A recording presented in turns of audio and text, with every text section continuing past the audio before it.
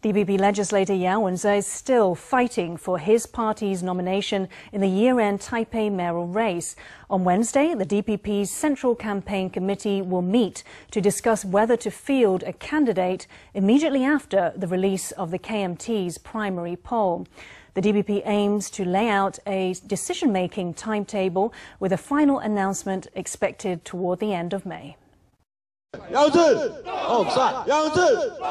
DPP legislator Yao Wen-chih is still determined to get his party's nomination for the Taipei mayoral race. He invited these local borough council chiefs to the legislature for a demo calling on the DPP not to concede Taipei to incumbent independent mayor Ko Wen-je. The DPP's Central Campaign Committee will meet on Wednesday afternoon to discuss whether to field a candidate and a strategic timetable for the race. The committee is said to be leaning towards giving Ko their tacit support.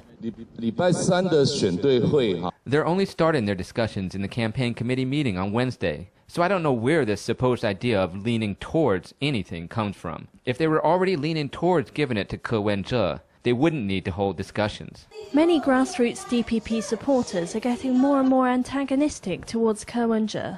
If the party decides to concede Taipei, they might face a painful backlash from deep green voters. But what about Ko? What does he think he has to offer the DPP? You want lots of friends and few enemies. You have to make as many friends as you can. That's all you can do. The DPP's decision might be revealed by mid May at the earliest.